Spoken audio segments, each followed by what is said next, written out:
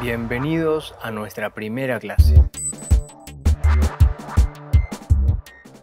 En este encuentro, el objetivo principal es comprender los conceptos básicos de la educación vial, normativas, conducción responsable, siniestros y accidentes. Los temas propuestos están avalados por el Ministerio del Interior y Transporte de la Nación, a través de la Agencia Nacional de Seguridad Vial. Comenzamos haciéndonos las siguientes preguntas. ¿Para qué sirve la educación vial en nuestras vidas? ¿Qué importancia tiene para la sociedad? ¿Qué aspectos debemos tener presentes en la vía pública? Hablaremos sobre los conceptos claves de la educación vial, la seguridad vial y la conducción responsable. La Ley de Educación 23.348 hace referencia a la educación vial en su artículo 2, dice que es la adquisición de hábitos que permite a las personas orientar su comportamiento a normas, reglas y principios del tránsito vigente. Podemos decir que la forma en que nos conducimos es una construcción cultural que se transmite de generación en generación. Por eso puede modificarse. La Ley Nacional de Tránsito 24.449 promueve la difusión y aplicación permanente de medidas para prevenir accidentes. Algunos autores dicen que la educación vial es parte de la educación integral y que no se limita al conocimiento de normas o señales viales. Su objetivo es lograr un comportamiento vial seguro por convencimiento, no por temor a la infracción. Entonces, la educación vial promueve, en el plano teórico, el conocimiento de señales y normas de la vía pública y el desarrollo de habilidades y destrezas. En el plano humano, favorece el desarrollo de hábitos y conductas positivas de comportamiento en la vía pública, valores comunitarios, solidaridad con los demás y el medio ambiente, obedeciendo las normas de tránsito.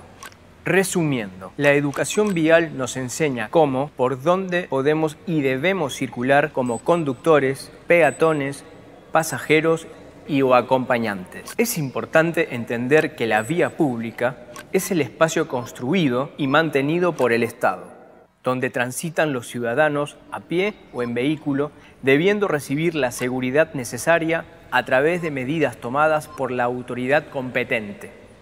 El aporte de cada uno de nosotros como integrantes de una sociedad para disminuir los siniestros viales es la conducción responsable, a través del respeto a la normativa vial.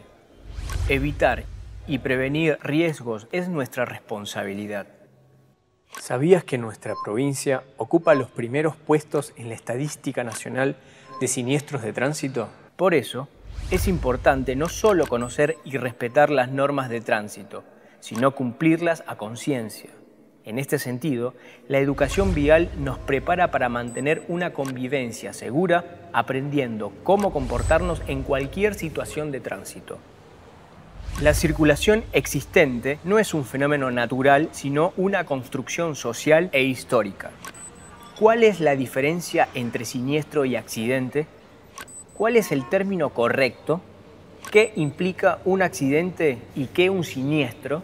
Accidente es siempre un suceso eventual y a su vez un hecho eventual es un hecho casual, sea fortuito, que ocurre por casualidad o por azar. Por eso hablar de accidente automovilístico es hacer remisión a una conducta involuntaria. Ejemplo de accidente inevitable un auto con la verificación técnica vehicular al día rompe imprevistamente un caño de freno y este hecho provoca una colisión. El conductor no lo pudo evitar.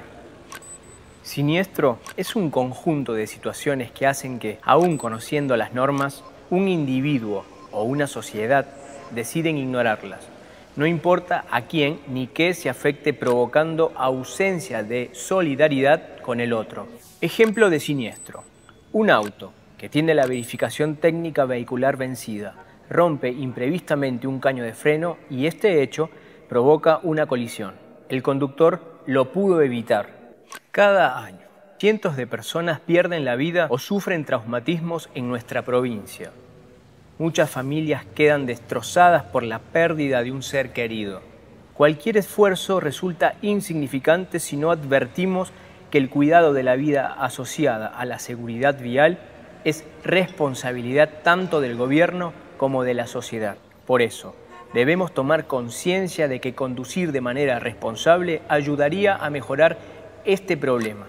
Tomar decisiones incorrectas impacta en la vida personal o social. La prudencia, la concientización y la actitud responsable podría disminuir la cantidad de siniestros viales. Recomendamos realizar las lecturas de la infoteca.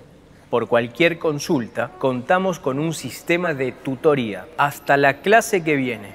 Y recuerde siempre responsabilidad al volante.